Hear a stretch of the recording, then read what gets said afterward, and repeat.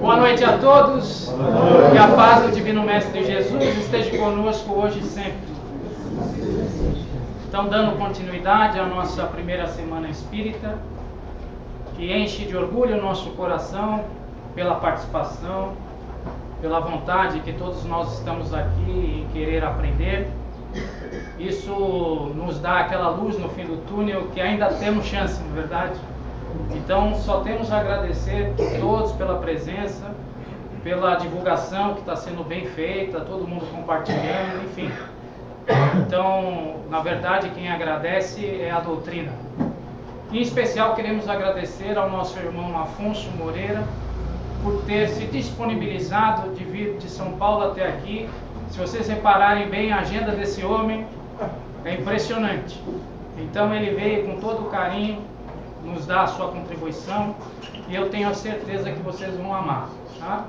Então, nesse momento, vamos serenando os nossos corações e buscando a figura amorosa do nosso Divino Mestre Jesus, irmão maior, modelo e guia, pedindo a Ele que nos abençoe, nos ilumine, retire de nós todos os empecilhos, para que possamos nessa noite absorver todos os ensinamentos, essas emanações positivas que cercam os nossos corações e nos dão o alívio necessário para prosseguirmos nessa luta.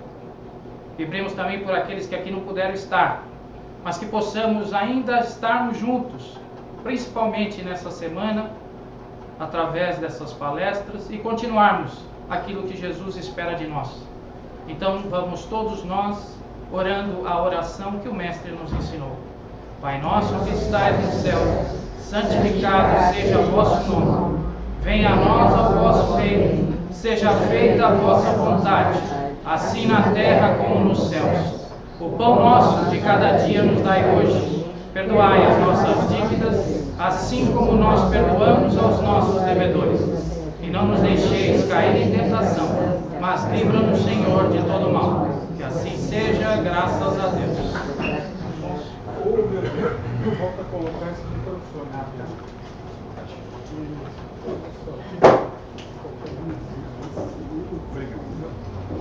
muito obrigado. Muito obrigado. Som?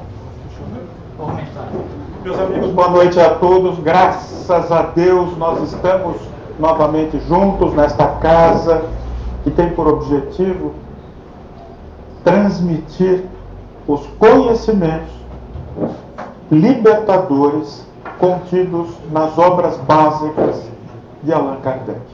Os espíritos de luz que aqui comparecem o fazem por devoção, o fazem por amor a Deus. São fios condutores que nos levam às esferas maiores, para que possamos aliviar os nossos corações, as nossas aflições, para que nós possamos, durante alguns instantes, serão determinantes para a nossa saúde física e espiritual, ganhar forças e sustentação para vencermos as nossas dificuldades, sejam elas de ordem material, sejam elas de ordem espiritual, sejam elas de ordem afetiva, seja qual for a nossa dificuldade, seja qual for o nosso problema, seja qual for a pedra que tenhamos em nosso caminho. Quem não as tem no mundo de expiação e provas como a terra? Desde o mais rico até o mais pobre, o mais miserável, todos padecem provas e expiações, pois esta é a condição do planeta Terra mundo de expiação e provas. O Espiritismo, por intermédio desta casa, vem para abrir os nossos olhos. Aquele que está no caminho iluminado evita cair em armadilhas, tropeçar nas pedras, nos pedregulhos ou falecer diante das montanhas de dificuldades que porventura tem à sua frente. Doutrina libertadora. O Espiritismo vem para nos ajudar a entender que nós somos seres trinos. Nós somos espírito eterno, centelha divino, corpo material, empréstimo de Deus para que possamos interagir, para que possamos nos integrar na materialidade do planeta onde nós nos encontramos. E o elo, o fio condutor do Espírito Eterno, centelha divina, ao corpo físico, que é o chamado perispírito, corpo espiritual. Portanto, dotados desta condição trina, estamos encarnados, ou seja, estamos num corpo de carne empréstimo de Deus. Porque de nós, nós temos apenas três coisas. Nós temos de nós aquilo que podemos levar na hora da partida do espírito, no momento em que ele se libertar do corpo físico, nós levaremos três coisas. Apenas três coisas que possuímos de fato e verdadeiramente na Terra, nos ensina o Espiritismo com Allan Kardec. E quais são essas três coisas? A primeira delas, a inteligência, que é o raciocínio que devemos exercitar por intermédio do estudo, do entendimento, da iluminação do espírito, pois a inteligência é tal qual o músculo do corpo físico. Se não for exercitado, ele fica flácido. Ele não tem utilidade. Ele não corresponde aos esforços que nós desejamos fazer. Portanto, a inteligência é nossa e cada um a desenvolve de acordo com a sua condição, com a sua boa vontade, com o seu interesse em progredir. No Espiritismo, com Allan Kardec, a inteligência está associada à fé raciocinada.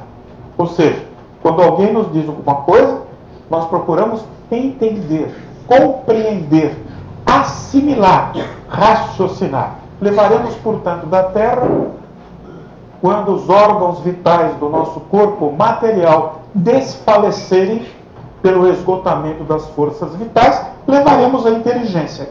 E o que mais levaremos? Levaremos, sem dúvida, conquista inalienável nós levaremos os conhecimentos adquiridos. E que são conhecimentos adquiridos? Aquele que estudou medicina, aquele que estudou idiomas, aquele que se aperfeiçoou, aquele que tem conhecimentos enciclopédicos, aquele que desenvolveu atividade intelectual direcionada para o saber, está repleto de conhecimento, está repleto de saber. Se nós aprendermos o inglês, o idioma anglo-saxão nesta encarnação, este conhecimento, que pode ser do idioma alemão, ou seja qual for, pode ser o grego, pode ser o yiddish, pode ser o espanhol, nós o levaremos conosco.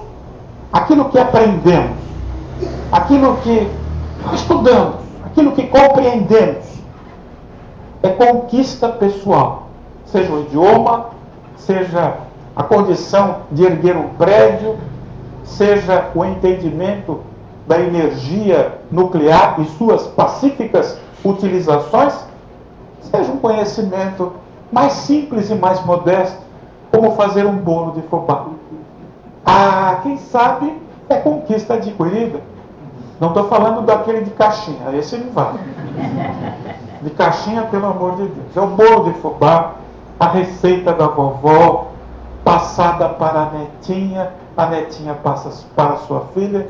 Esse conhecimento adquirido, por mais simples e elementar que seja, é conquista do espírito e fica enquistado em nossa alma.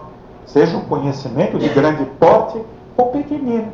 Aquele que sabe o nome dos insetos, aquele que conhece os animais, aquele que entende da formação geológica, aqui mesmo de Ubatuba, aquele que compreende a atmosfera, sabe prever as condições climáticas, conhecimentos adquiridos que ficarão ad eternum, ou seja, para sempre conosco.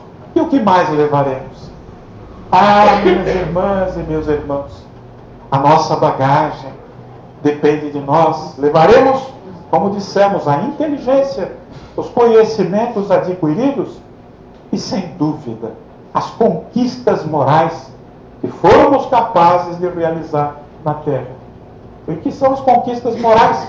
As virtudes, a caridade, a fraternidade, o despojamento, o desprendimento, o interesse pelo próximo, a prática do bem, a capacidade de perdoar, de entender e de tolerar.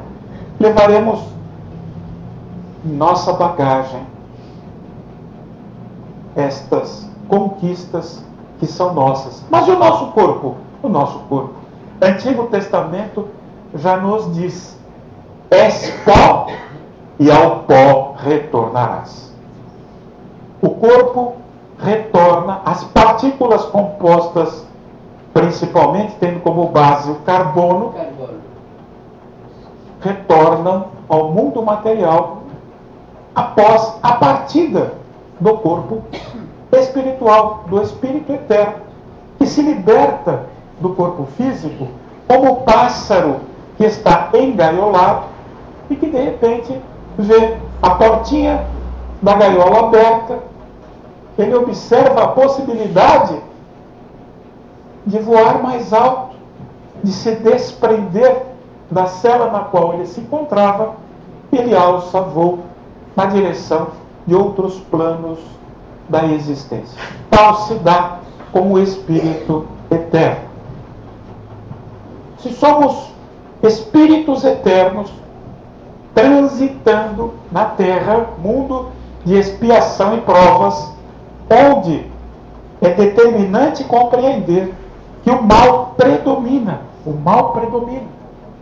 A violência fala mais alto, porque a terra é mundo de sofrimento, é mundo do qual a felicidade, tão procurada por todos nós, faz parte da nossa estrutura psicológica, procurar o prazer, procurar as sensações agradáveis, procurar o lazer e escapar naturalmente da dor e da aflição. O filósofo da Grécia Antiga já dizia: no momento em que tu começares a rir em praça pública, momento em que tu começares a rir, a gargalhar em praça pública, todos se aproximarão para saber qual é o motivo do riso. Aonde está a razão daquela alegria, daquela expansão do ser? Todos querem saber a piada, a anedota, o motivo da felicidade. Ah, mas diz também o mesmo filósofo da antiguidade, se tu em praça pública começares a chorar, a se debulhar em lágrimas, todos se afastarão. Pois faz parte da natureza humana partilhar, desejar partilhar a alegria, o doce mel da felicidade e afastar-se do sofrimento e da dor. Mundo de expiação e provas mundo de expiação e provas é a classificação que o planeta Terra recebe dos espíritos de luz que desejam nortear o nosso conhecimento.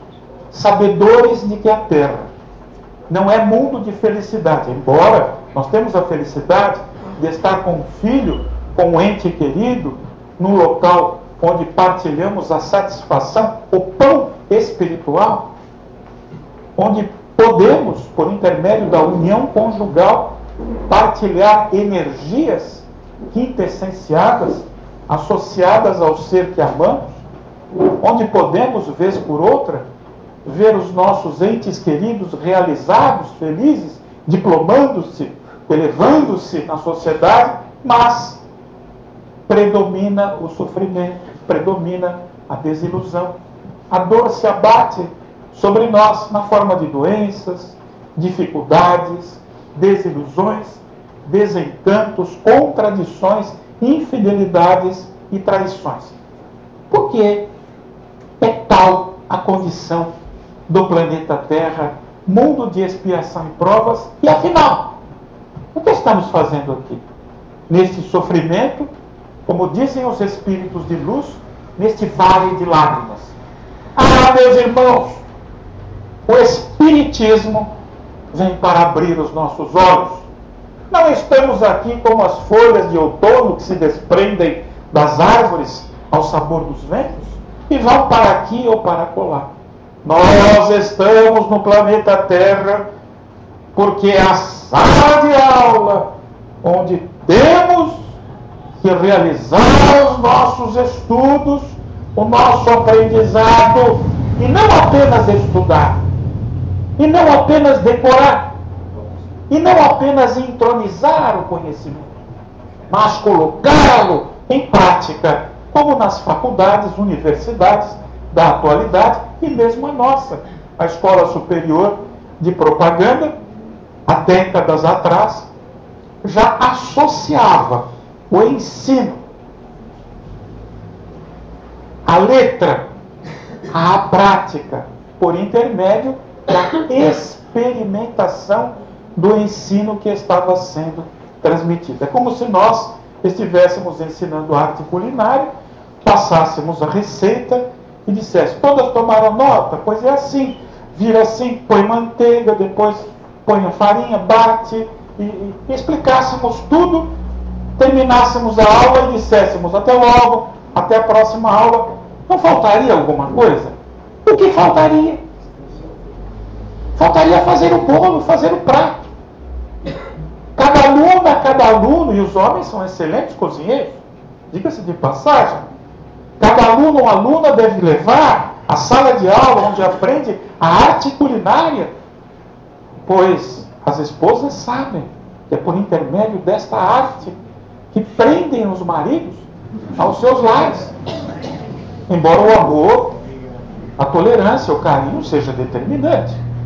E estas senhoras que descobrem na arte culinária este poder atrativo que tem sobre o cônjuge, elas sabem que após a parte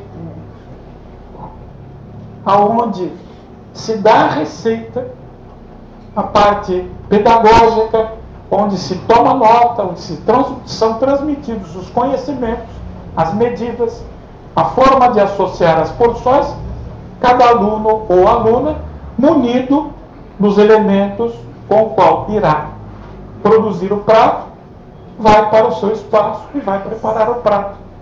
E no final todos sabem, pois transformou-se em programa de grande audiência. Graças a Deus a culinária volta a dar audiência.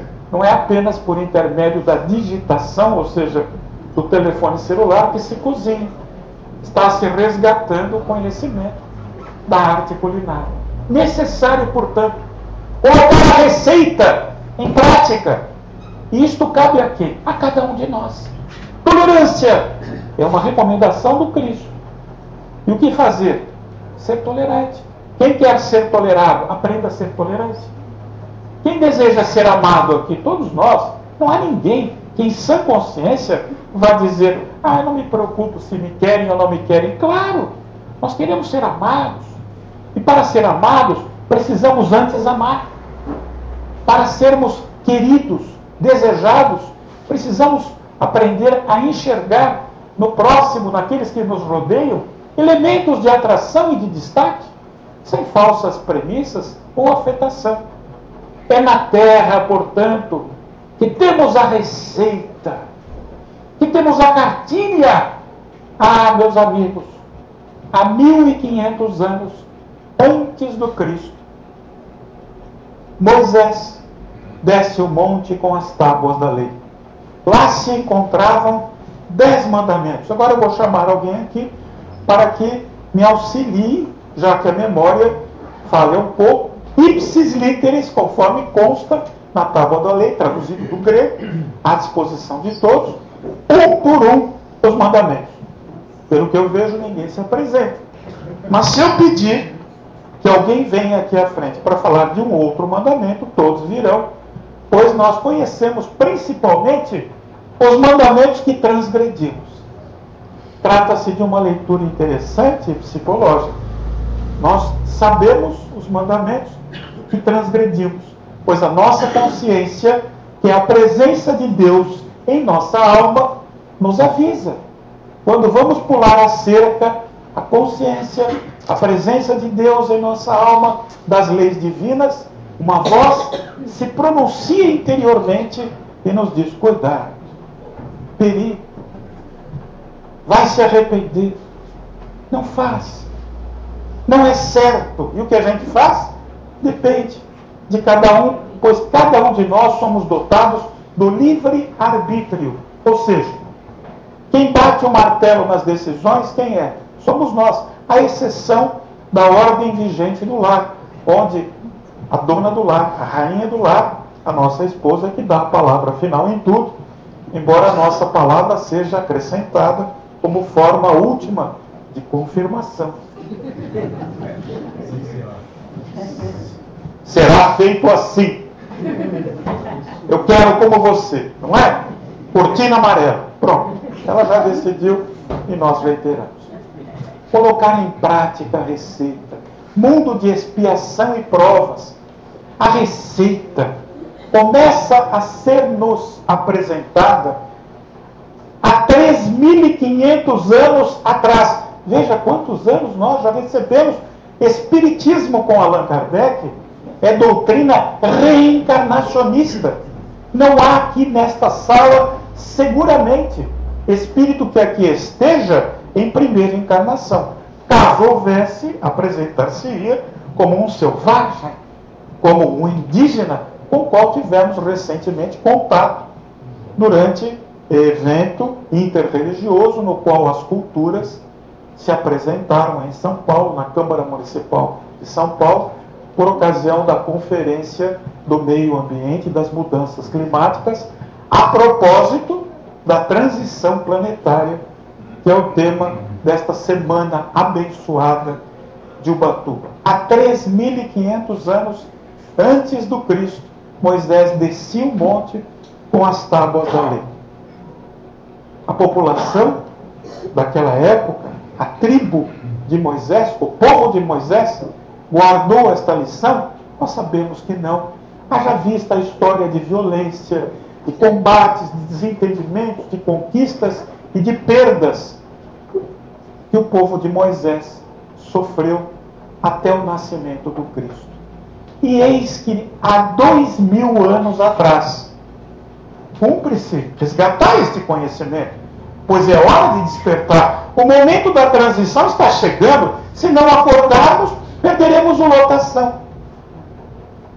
O lotação não tem aqui no Batu. Mas em São Paulo, quem perde o lotação, aí já perdeu o horário. Porque o lotação é a condução, é o micro-ônibus que nos leva, associado ao metrô, ao local de trabalho. É preciso estar ali, pontual. E os, os aplicativos anunciam o horário que o metrô, que o metrô, que o, o micro-ônibus, o, o lotação vai passar e acreditem se quiser, funciona. Não sabemos como. São coisas divinas que acontecem, mas estão funcionando em São Paulo. Graças a Deus. O progresso se estabelece. O progresso se estabelece. Há dois mil anos atrás, o Cristo Jesus, o Cristo, no Espiritismo com Allan Kardec, na questão 625, do Livro dos Espíritos de Allan Kardec, onde se encontra a filosofia do Espiritismo. Quem é espírita? Ah, muitas pessoas dizem, ah, eu estou há oito anos no Espiritismo, eu não sou espírita, ainda, ah, eu estou aprendendo, ainda não sei, não é? Cumpre se esclarecer. É o famoso papo a passe. Frequenta a casa espírita, não sabe ainda o que é espiritismo, não estuda, cumpre aprimorar o entendimento espírita com Allan Kardec é aquele que elege como filosofia de vida a obra O Livro dos Espíritos, que não é de autoria de Kardec. Allan Kardec e Hippolyte Leon Denizar Rivaio é, na verdade, o codificador, é o editor, aquele que preparou, que corrigiu, que revisou, que juntou e que publicou o livro dos Espíritos, porque os Espíritos fazem parte deles, que é a mediunidade. O livro dos Espíritos é revelação, mas cumpre aos médiums, aos organizadores, aqueles que dirigem as entidades espíritas, fazer a parte material. Pois os espíritos não têm braços e mãos materiais como nós temos. Eles são energias, eles são inteligências que vêm para nos impulsionar na direção do progresso. Espírito é aquele que segue como filosofia de vida o livro dos Espíritos de Allan Kardec. E qual é a sua condição moral? É semelhante à nossa. Nós somos aquelas criaturas ainda mornas. Somos capazes de amar aqueles que nos amam. Somos capazes de ajudar aqueles que nos ajudam. Tratamos com tanto carinho aqueles que nos acolhem, com tranquilidade, com serenidade, que nos abraçam e muitas vezes nos distanciamos daquele que nos considera seu inimigo, aquele que nos diz a verdade, aquele que nos ajuda verdadeiramente a crescer, porque o inimigo diz a verdade a nosso respeito. O amigo muitas vezes, por amabilidade, por nos querer bem, por desejar a nossa felicidade, ele encontra em nós virtudes que nós ainda não temos. Portanto, o espírita sabe que tem defeitos. Ele sabe que quando ele chegou neste mundo de expiação e provas, ele veio para cá por quê? Porque é sala de aula. Ele precisa aprender a lição, colocar em prática. Ele precisa aprender a ser tolerante, a ser amável, a ser caridoso, a entender que o mundo não se restringe, não se limita às paredes do seu lar. Que o mundo se estende e que a família é a família universal. Uma mostra desta família universal é esta reunião na qual nós nos encontramos. Certamente todos nós temos formações diferentes, condições sociais, sociais diferentes, formação diferente, mas estamos todos unidos em torno de um ideal, que é o ideal espírita, o ideal de fazer crescer a alma e, por intermédio deste crescimento espiritual, melhorar o mundo onde nós nos encontramos. O espírita, portanto, segue o livro dos Espíritos com Allan Kardec, sabe das suas falhas, dos seus defeitos, olha para o espelho e segue a dística que já nos foi transmitida na Grécia Antiga. Conheça-te a ti mesmo. É só conhecendo-nos, olhando nos nossos olhos, buscando nos dizer a verdade. E aqueles que fazem barba aqui, quem não faz barba ainda tem essa. O senhor, aqui, alguns companheiros. Quando você faz barba, você é obrigado a olhar para você no espelho. Você é obrigado a olhar-se e dizer: Meu filho, toma jeito. Seja mais bonzinho, não é? Aprenda a ser mais tolerante. Nós temos que nos dizer aquilo que nós dizemos para o próximo. Nós temos que mergulhar nas profundezas do eu, resgatar a nossa alma para salvá-la da reprovação neste mundo, que nós vamos falar. Acredito que nesta reunião de hoje. O Cristo Jesus ele veio há dois mil anos atrás. E quantas, quantas eram? Quantos eram os mandamentos da lei do Cristo? O Cristo veio como grande facilitador.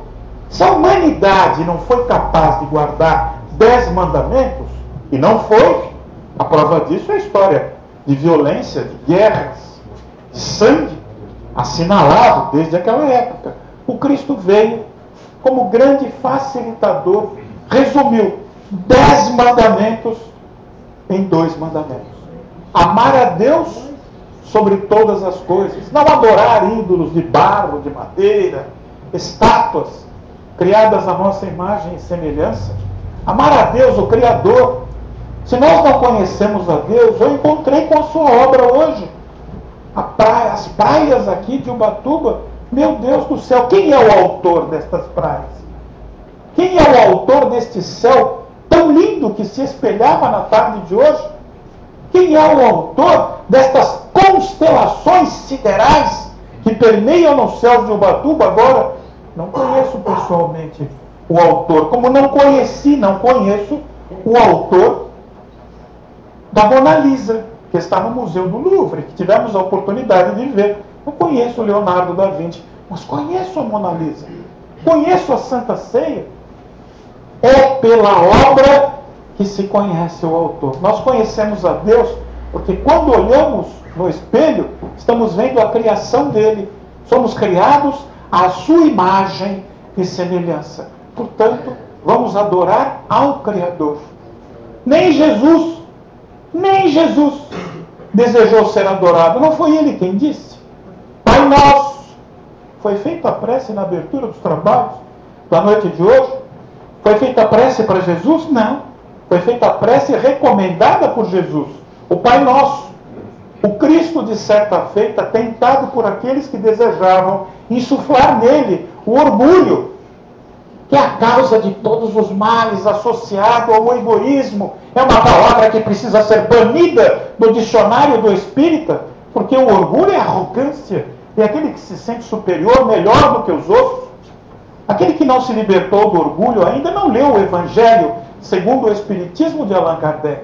O primeiro defeito, o maior defeito a não ser arrancado é o orgulho.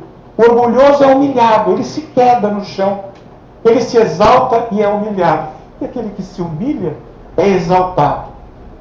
A segunda lei que o Cristo nos trouxe, trouxe apenas duas, não dez. Amar ao próximo como a si mesmo. Em 1857, em Paris, na França, com o lançamento de O Livro dos Espíritos de Allan Kardec, nós, a partir do Consolador prometido pelo próprio Cristo, que disse que no momento oportuno, no momento em que a humanidade estivesse em condições de entender a formação dos mundos, as ordens divinas, as razões do ser e do não ser, o conhecimento cósmico, ele viria para nos trazer esta informação. E o próprio Cristo, o Espírito da Verdade, vem por intermédio do Espiritismo para trazer os dez mandamentos de Moisés, os dois mandamentos do próprio Cristo, condensado num mandamento apenas. Fora da caridade não há salvação. Portanto, o momento é de gravidade. Pois nós, até agora, gravitamos em torno do egoísmo, das nossas necessidades pessoais, colocando os nossos interesses pessoais acima dos interesses da coletividade. Quando muito, defendemos o interesse da nossa família, aqueles que temos sobre as nossas asas, aqueles que estão pelas ruas, aqueles que elegem, são esquecidos por aqueles que são eleitos. Aqueles que alcançam o poder e a fortuna facilmente se esquecem daqueles que muitas vezes escravizam para manter a sua condição de supremacia na sociedade. Fora da caridade não há salvação. Ah, meus amigos, se nós não conseguimos assimilar, guardar, raciocinar e exemplificar os dez mandamentos trazidos há 3.500 anos atrás, e realmente não conseguimos. Este foi o meu caso.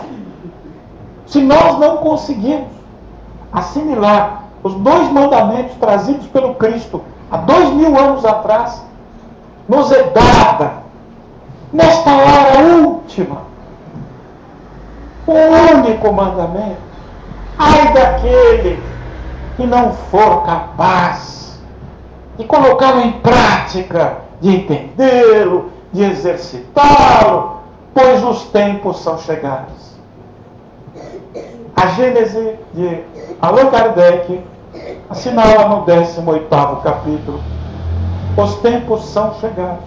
Chega o momento em que a terra, mundo de expiação e provas, prepara-se. Este processo já começou. E não é mágico. Não é pó de pirlilim-pim-pim. Alguém sabe do que estou falando? Monteiro Lobato? Grande escritor brasileiro, infantil, dedicado a obras infantis memoráveis, a obras voltadas para os adultos. Não há pode piririm pim pim que vai nos conduzir a um mundo melhor apenas então somente por intermédio das nossas vontades pessoais. Ah, eu mereço, eu sou melhor, eu, eu, eu estudei, eu fiz isso e aquilo. Não. O critério para fazer parte deste mundo novo, deste upgrade, desta promoção que a Terra está nesse instante devagar, por força de trabalho, por força de renovação da população que existe na Terra. Há uma nova geração que está chegando com propósitos diferentes, com condições morais superiores às nossas, com força de vontade para enfrentar a corrupção, para enfrentar a devassidão, para enfrentar o desenfreado desejo de consumismo e modificar a ordem na terra. Esta nova geração chega. E de onde ela vem? Ela vem da própria terra.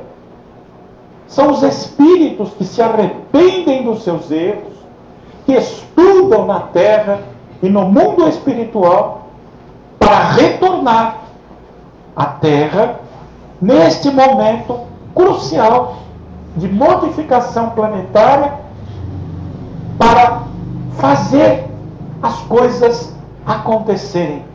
Mundo de expiação e provas onde o mal predomina, a Terra prepara-se para alcançar a condição de mundo de regeneração. Aquele que já andou de bicicleta, isso é muito fácil, aqui em Ubatuba, São Paulo, onde eu resido, zona norte da cidade, onde as montanhas, os montes, as montanhas, a serra oferecem obstáculos difíceis de serem vencidos, principalmente nesta idade da razão na qual nós nos encontramos. Aquele que anda de bicicleta, aquele que anda, é, ou, ou tem razão, ou aprende, ou então não tem mais jeito. Quem andou de bicicleta certamente deve ter caído muitas vezes. Os tombos da bicicleta deixam as marcas, que são as condecorações do bicicleteiro. É? Na nossa infância, na nossa juventude, a gente tinha a satisfação de mostrar, olha aqui, tá vendo isso aqui? As cicatrizes. Quando a gente caía da bicicleta, se levantava, geralmente o tombo era feio e ia para casa, porque era tirado do campo. Íamos para casa, mamãe já estava lá com o mercúrio cromo, não sabe do que se trata, pois é um é uma, é, é, um, é uma medicação é uma, que já não se usa mais. Primeiro vinha a limpeza com água e sabão mesmo. Sabão, esfregado. Ah, meu Deus! A gente via as estrelas que ainda não haviam saído no céu. E depois jogava suavemente o mercúrio. Aí eram os gritos.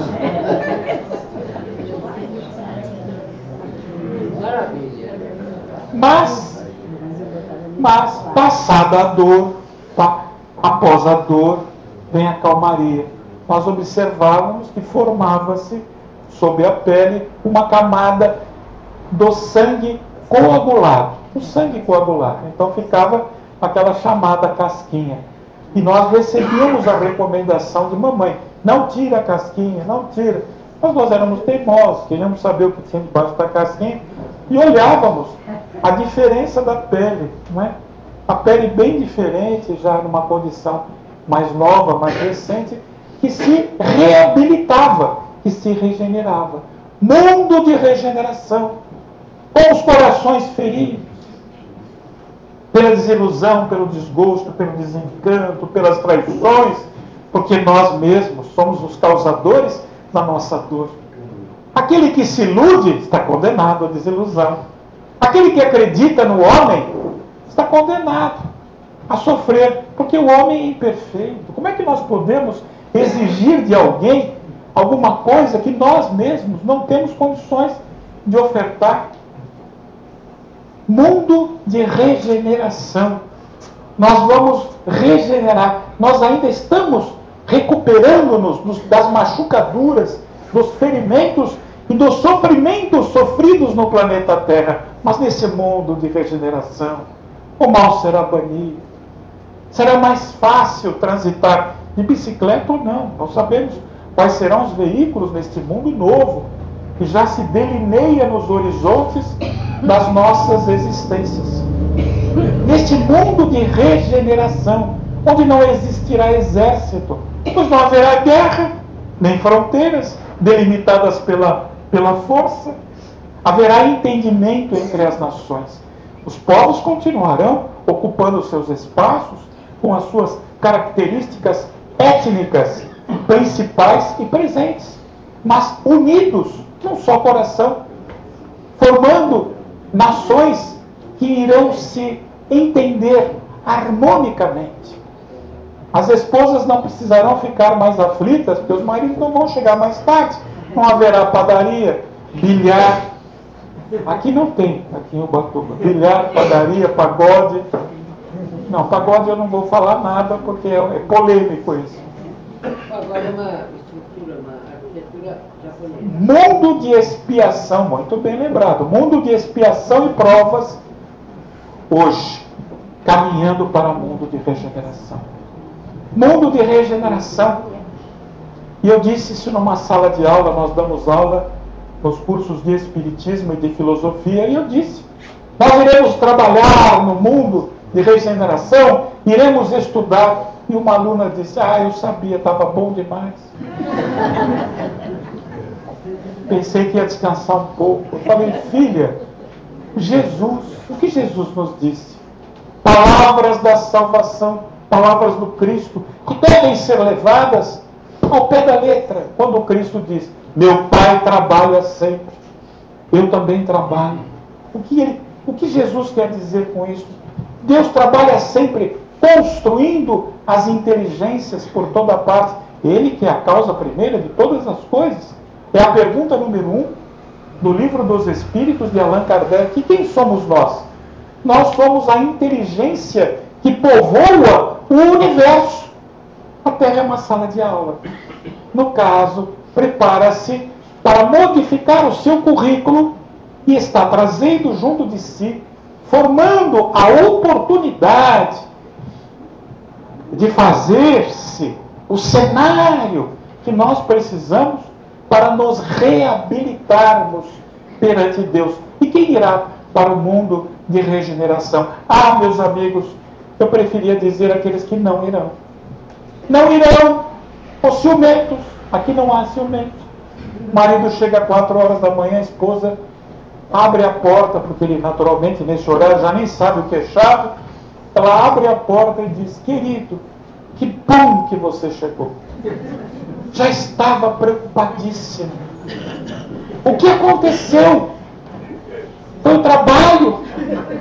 E o marido diz: Eu vou explicar, não é o que você está pensando. Ele diz: Não, não vai explicar nada. Banho quente, já deixei aquela toalha felpuda no banheiro, abri já aquele sabonete que você gosta, cheirosinho. Enquanto você toma o banho quente, eu vou esquentar a sopa. Qual que é a sopa mesmo? de legumes. E aquela sopa de legumes que você gosta, quando você sair, não demora muito, porque já é tarde. Senão você vai tomar sopa essa hora, pode não cair bem. E o marido sai do banheiro, senta e aquela, aquela sopinha fumegante, o azeite de oliva ali ao lado, as torradinhas. E ele diz, olha querida, eu, pelo amor de Deus, eu quero dizer para você, eles não falem nada, a sua sopa está esfriando. Antes, vamos, vamos fazer uma oração. E o marido diz assim, mas é, sabe o que é? É que eu encontrei o querido oração. Pai nosso, você faz ou eu faço?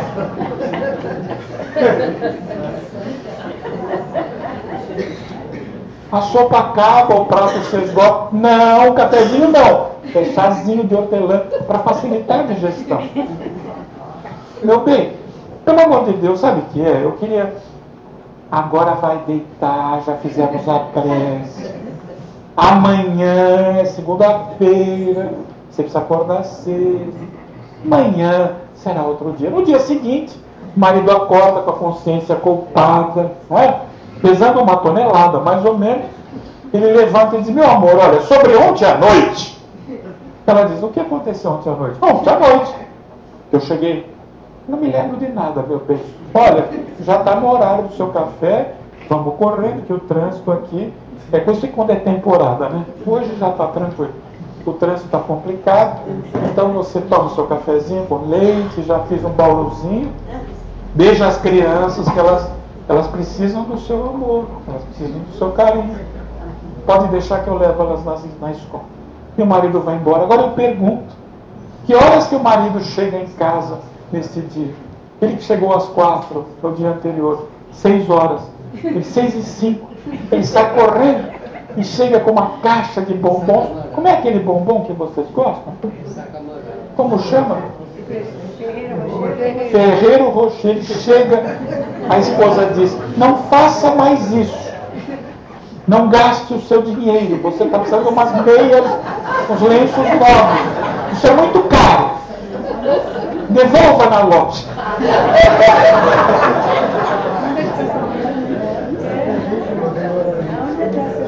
Os ciumentos não entrarão no mundo de regeneração, mas entrarão no mundo de regeneração pela porta da frente. Aqueles que já se libertaram do ciúme, aquelas moças, aquelas senhoras que já se libertaram da inveja, quando passa aquela moça escultural, capa de revista, não é? Aquela que se destaca na sociedade. Hoje não tem mais caras, hoje a internet, o Facebook, já é uma revista caras aberta a todos. Quando passa uma moça com estas características, que naturalmente chamam a atenção dos corações masculinos, aquela que não foi aquinhoada exatamente por essa beleza, ela olha e diz: Mas que mulher maravilhosa! Veja! E veja o andar dela. É uma mulher observando a outra. Veja o porte dela e o cabelo bem tratado. A maquiagem na medida certa, sem exagero.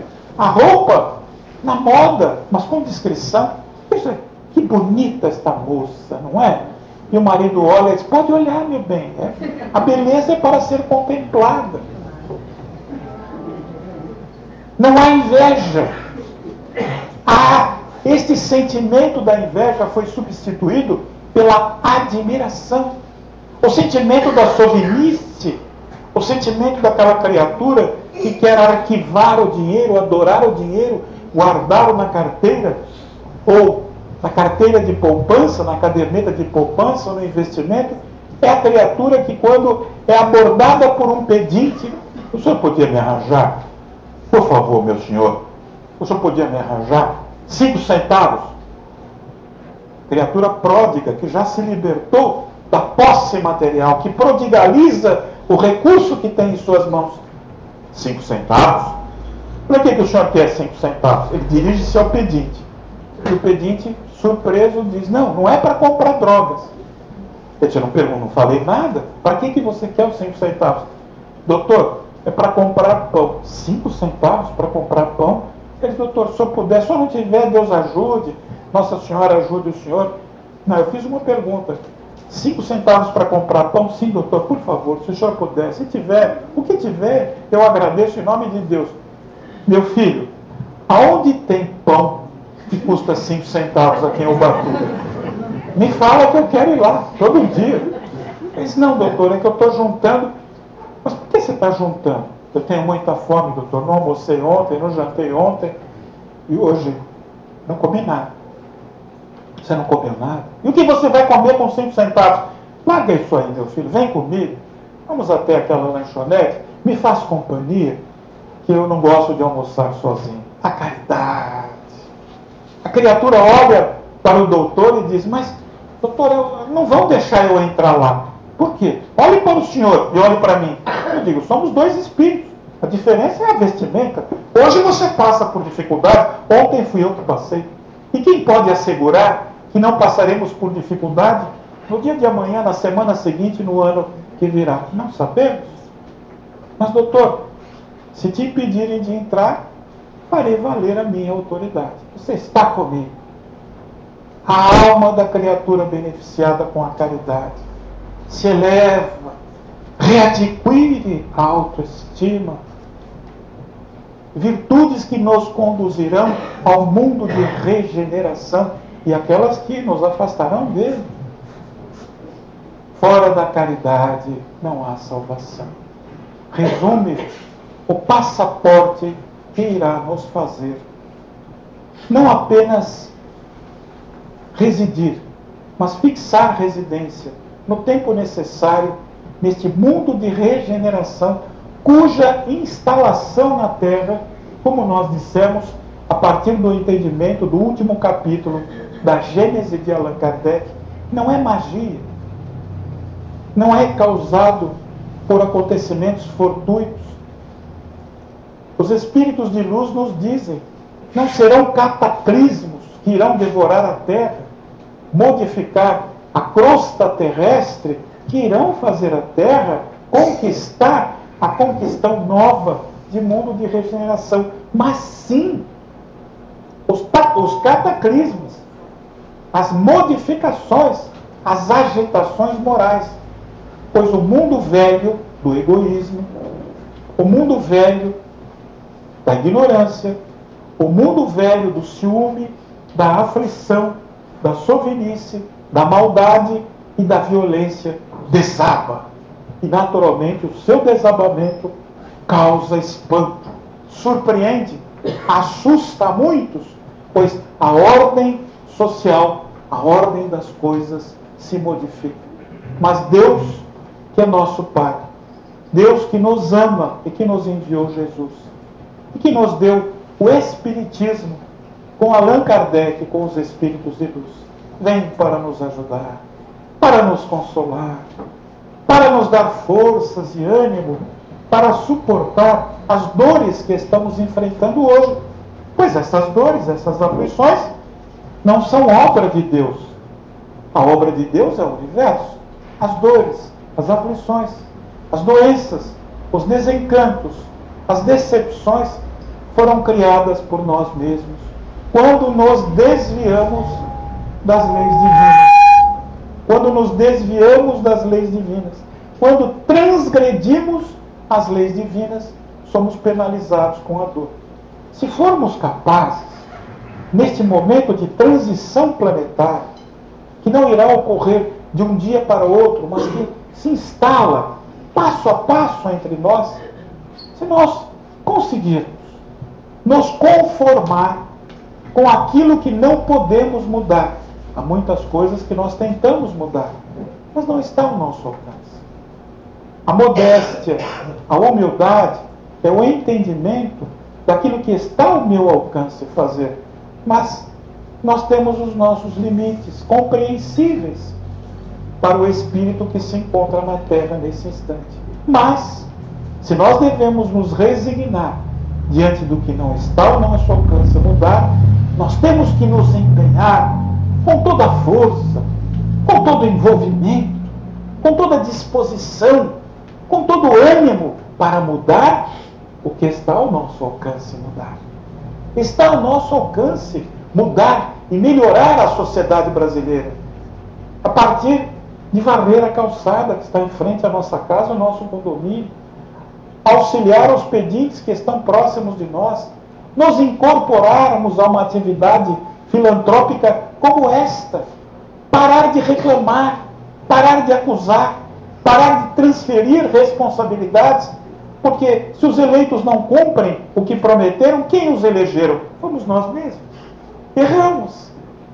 Vamos acertar, vamos cobrar, vamos nos unir, Vamos nos fazer candidatos. Por que não? Se temos tantas ideias, se temos tanta força, vamos nos candidatar.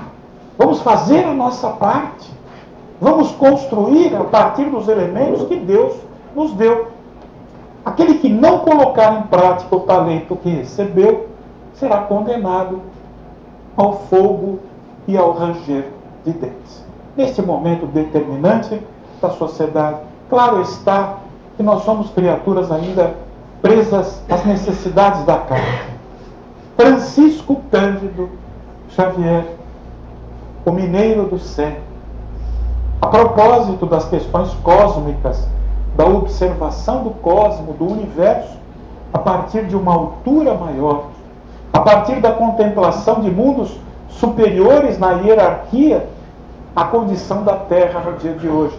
E certa feita, e conto esta passagem de acordo com a minha emoção nesse instante, pela grande admiração que temos por esta criatura que tanto nos ajudou a nos conduzirmos o trabalho mediúnico no qual estamos inseridos até hoje.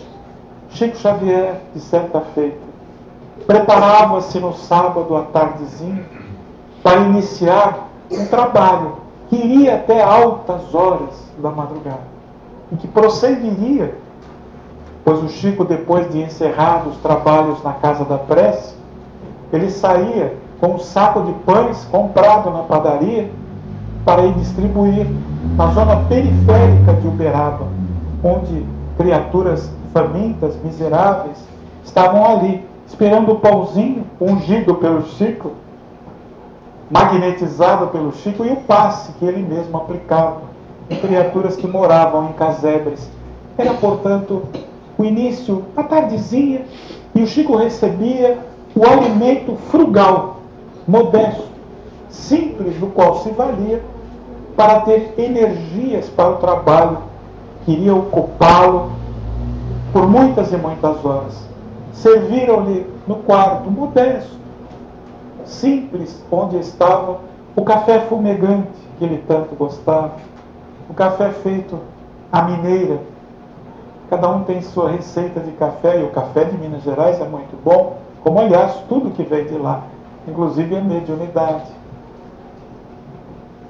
a xícara de café fumegante e ao lado da xícara o pedacinho do bolo, dois pedacinhos do bolo de fubá, o bolo mais simples, mais despojado, por não dizer humilde dos confeitos que nós conhecemos, estava ali. Aquela era a refeição do Chico. Aquele era o lanche, o jantar e o lanche da madrugada. E o Chico olhou como nós com fome, com apetite, porque o corpo clama por energia. O espírito clama pelo pão espiritual que viemos buscar e que está sendo distribuído pelos espíritos benfeitores nesta noite em que nos encontramos festivamente instalados no caminho da luz. O Chico estava lá. Ele admirava, e eu acredito que já salivava, porque o café fumegante e o bolinho ali preparado, fresquinho, já o atraíam. E quando ele se preparava para dar o primeiro bocado no bolo de fubá e acrescentar o gole de café, pois é assim que funciona, aparece diante dele o Espírito Emmanuel. Chico! E o Chico se surpreende. Naturalmente, por respeito, abandona o bolo no prato, concentra a sua atenção no Espírito, que é seu guia, seu mentor e que o conduziu na tarefa da mediunidade com Jesus, que nos trouxe 501 livros assinalados pela última estatística que tivemos a oportunidade de conhecer, fornecida pela Federação Espírita Brasileira. E o Chico vê, está diante do bolo de fubá, do café fumegante e do Espírito Emmanuel. Pois não, Emmanuel.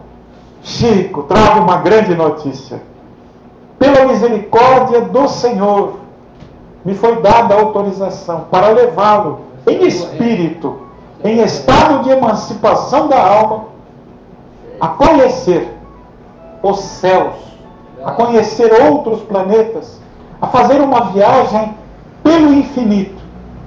Vamos, Chico. O Chico olha para o café quente e para o bolo de fubá. Emmanuel, precisa ser hoje. Os espíritos de luz fazem se fazem desentendidos, né? são benevolentes. Sim, Chico, vamos agora mesmo. Diante do comando da voz moral de Emmanuel, Chico não tem outra alternativa senão se resignar. Então ele coloca-se em estado de oração para o estado de emancipação da alma ser alcançado. Necessário se faz que o médium, a criatura, se recolha interiormente. Não precisa deitar nem dormir.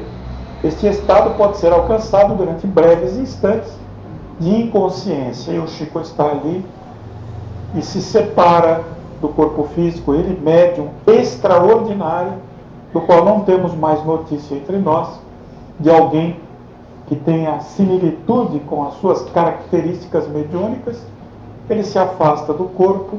Emmanuel toma-lhe em espírito e diz: Venha comigo, Chico. E praticamente o arranca do corpo físico suavemente e o leva às alturas. E o Chico, de repente, olha para baixo, pois já está em região elevada. Meu Deus, a terra é azul. É azul mesmo a terra. Pois é, a terra é azul. Olha a graça de Deus que criou um planeta tão bonito. Mas veja agora, a lua, como brilha, mas ela não tem luz própria, claro, ela reflete a luz do sol, é um fenômeno de refração solar. Agora vamos embora. E vai o Chico, tomado pelas mãos espirituais do Espírito Emmanuel, vem dos anéis de Saturno, planetas, constelações, acidentes cósmicos que ocorrem a toda parte, luzes que brilham, galáxias, e o Chico, admiradíssimo, vai indo, vai indo, extasiado, e ele pergunta para Emmanuel num determinado momento. Ele mesmo contava essa história dessa forma. Emmanuel, demora muito?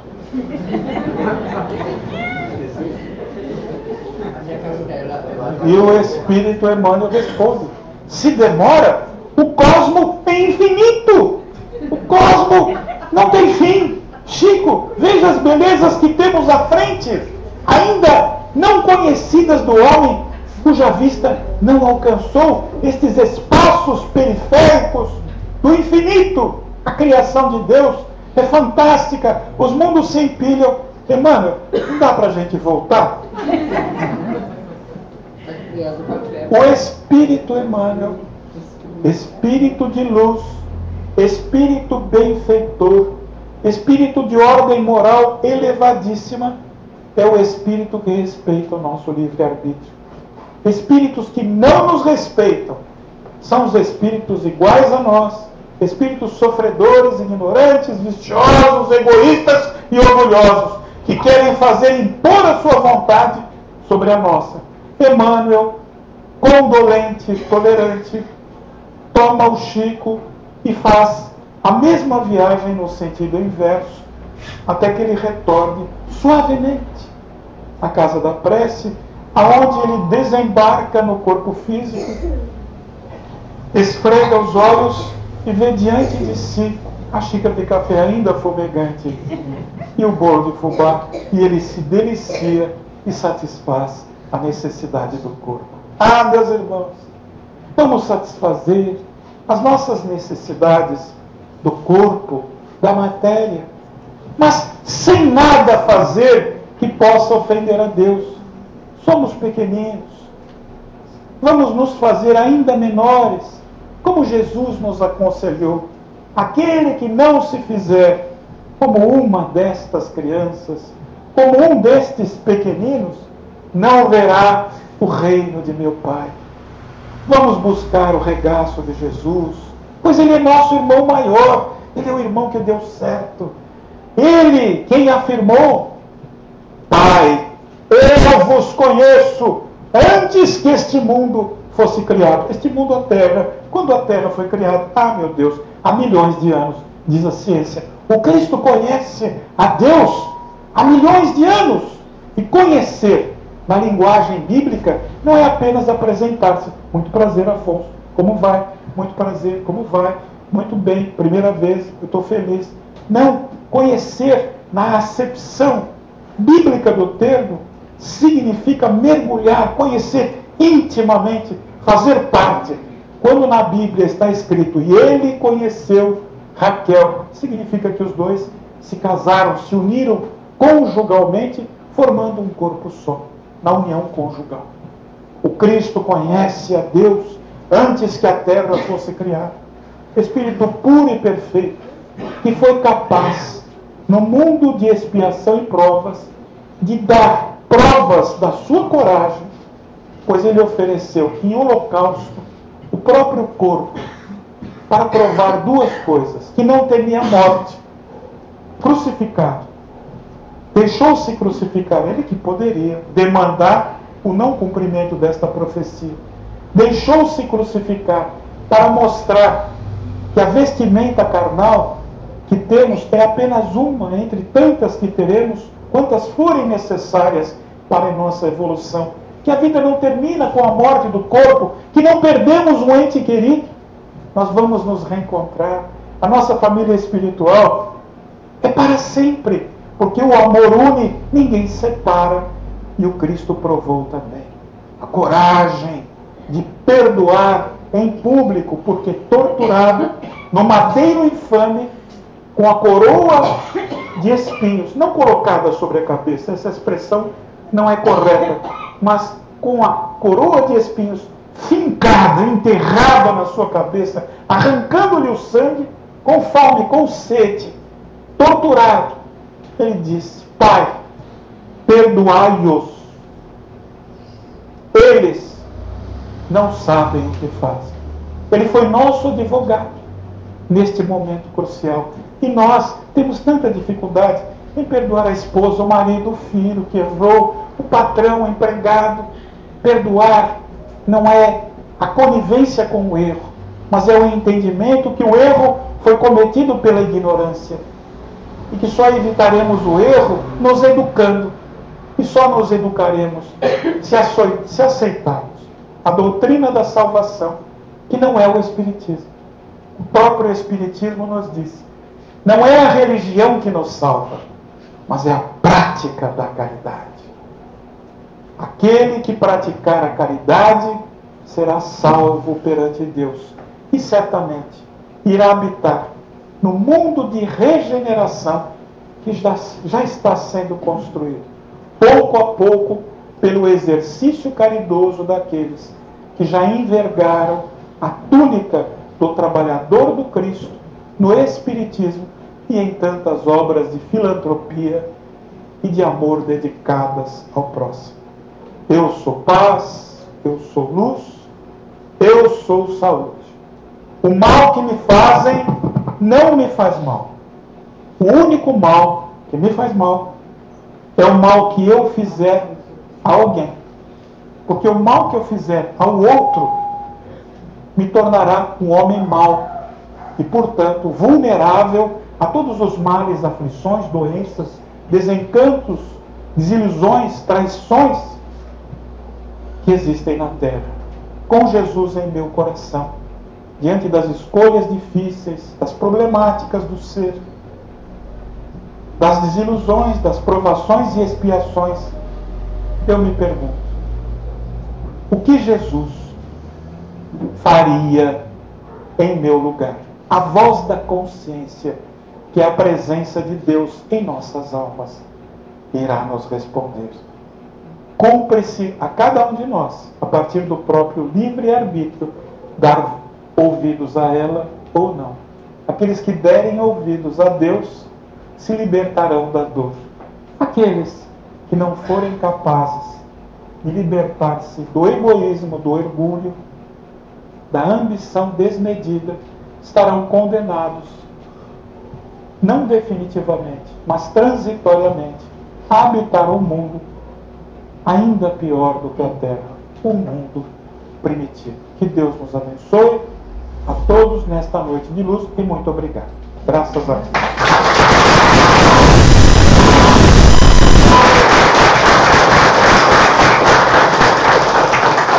Obrigado. Muito obrigado. Deus abençoe. Precisa tirar. Ajuda.